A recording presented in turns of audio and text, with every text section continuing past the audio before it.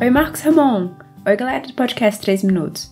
Aqui é a Ana Rosa, do podcast Apenã, um podcast de entrevistas que pensa no amanhã que queremos construir, apoiando a diversidade, a sustentabilidade e a nossa relação com a comunidade. Eu agradeço muito o convite e a força que a campanha do podcast É Delas 2018 tem dado para as mulheres na podosfera. Mas bem, para falar por aqui hoje, eu resolvi trazer um assunto do cotidiano que me foi bem presente ontem, quando eu estava num dia difícil e fui organizar a casa. Trocando os móveis de lugar, colocando quadro na parede, essas coisas. Você sabe aqueles momentos que a gente precisa esvaziar a cabeça? Eu não tô falando necessariamente de meditar ou algo do tipo. Eu falo também sobre as atividades manuais que nos ajudam a não pensar nos grandes temas do universo ou nos maiores problemas da sociedade, mas se bastam para esquentar um pouquinho o coração da gente. Às vezes parece que estamos sendo a todo momento bombardeadas por informação, mas nem sequer conseguimos processar bem tudo isso.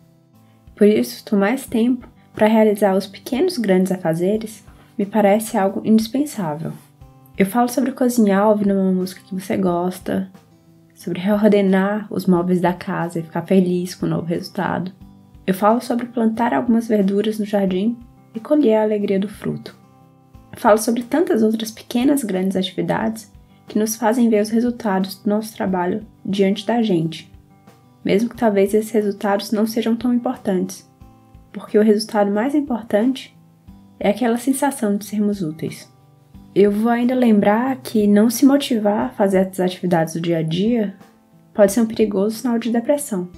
Então acredito que o oposto a realização das atividades diárias com alegria é um sinal de vida saudável.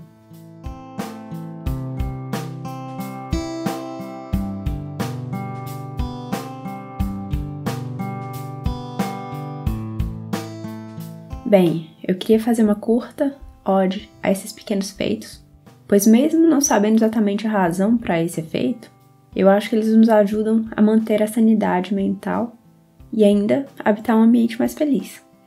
E foi um prazer falar com vocês todos. E se quiserem me ouvir mais, dá uma olhada nas entrevistas do Apenan. Você pode encontrar a gente por Facebook, por Twitter e até no grupo do Telegram. Apenan é escrito A-P-E-N-A com tio. E nas redes sociais você encontra a gente como Apenan Pod. A-P-E-N-A-N-P-O-D. E até a próxima! Um abraço!